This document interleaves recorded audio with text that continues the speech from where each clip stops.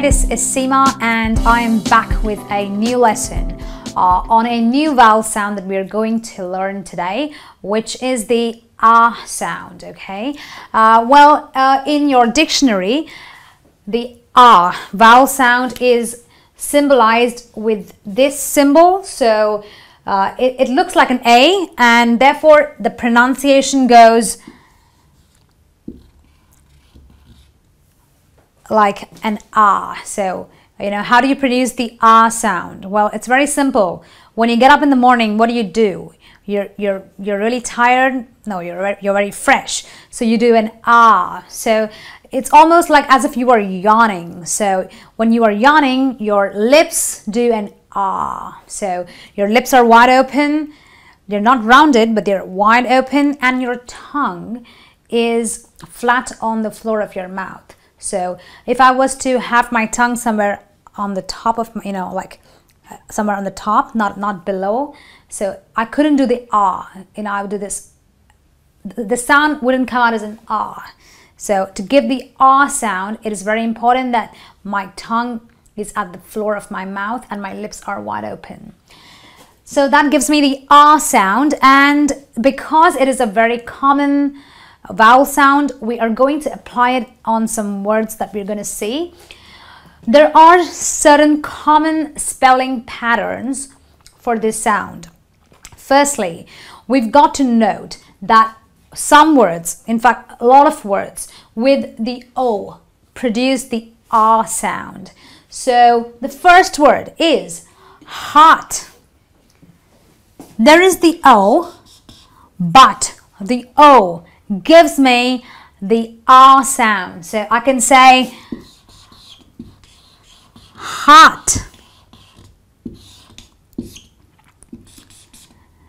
The O gives me the R sound. Well, the spelling is not H-A-A-T, it is H-O-T.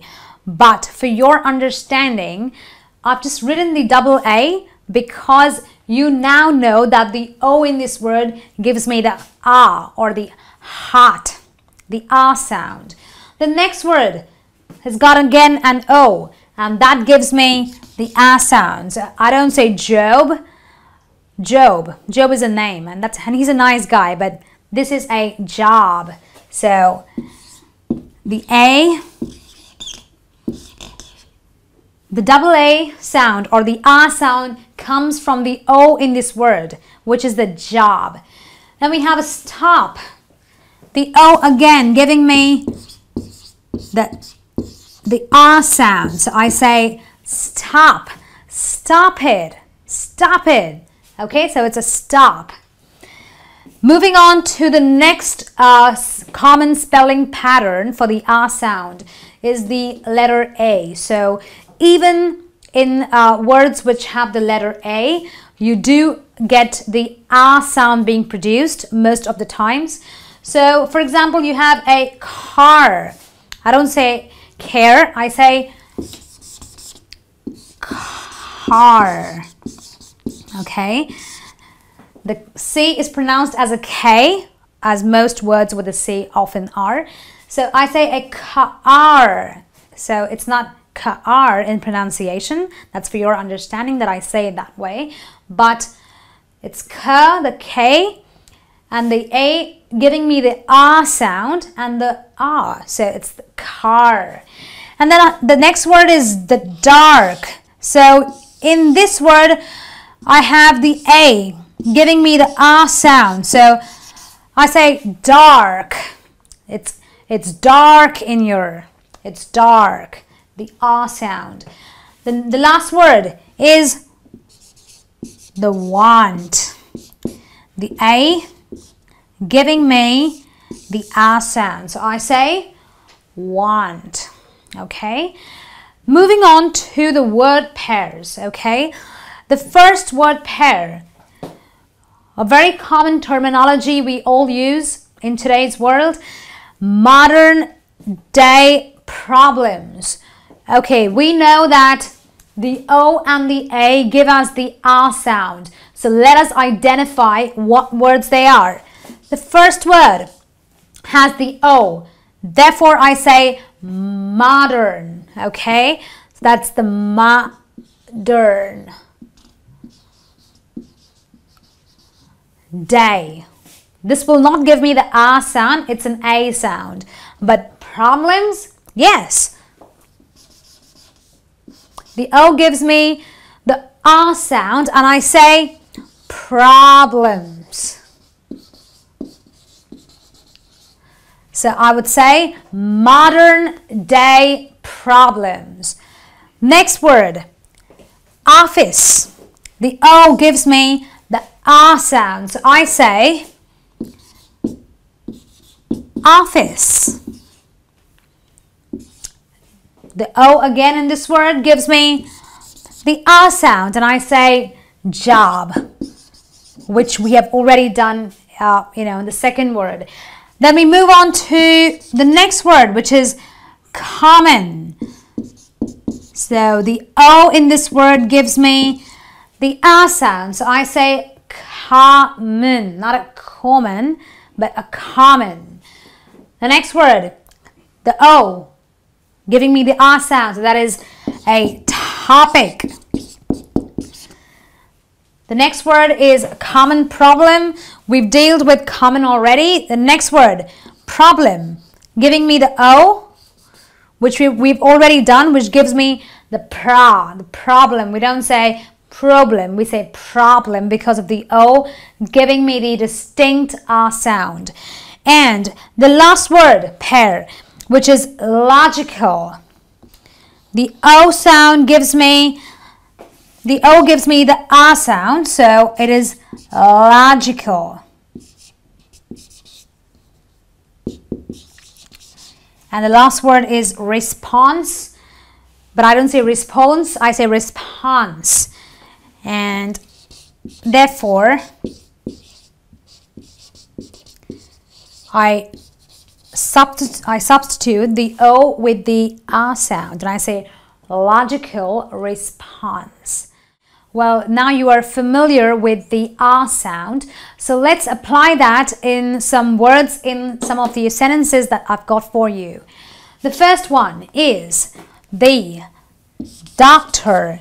We just said that the O gives me the R sound and therefore I can say doctor and not a doctor but a doctor wherein the R comes in from the O in this word. Operated. Again, I have an O, and therefore I say operated.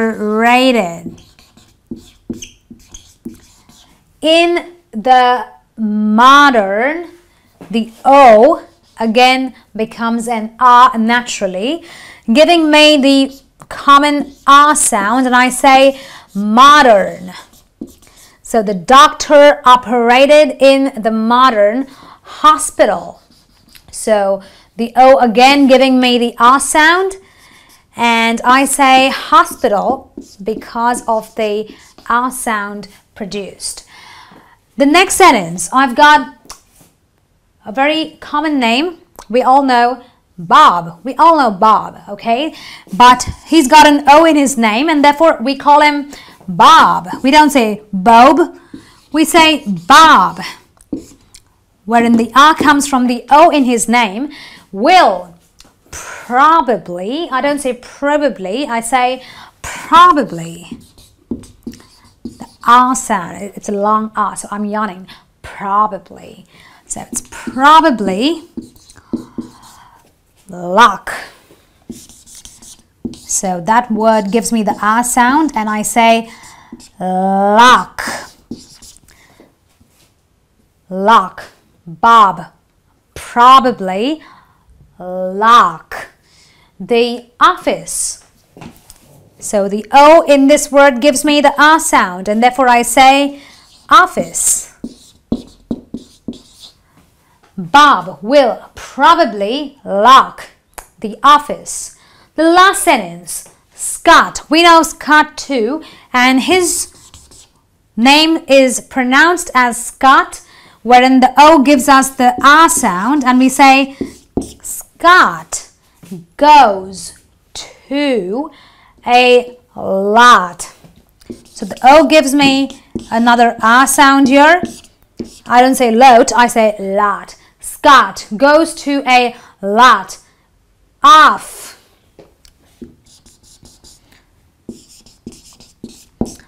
Off. Rock. The O giving me the R sound again. And concerts. We all know what concerts are. So concert. The O gives me the the R sounds. I say concerts. And of course, words with C mostly are pronounced with a K. So I say concerts. So Scott goes to a lot of rock concerts. Well, that's it from the lesson on the vowel sound R. Well, do keep practicing every day to gain a correct pronunciation on all these words. Uh, until then, I will be seeing you with some new vowel sounds and hopefully by then you will all gain perfection with your pronunciation. Take very good care of yourself. Goodbye.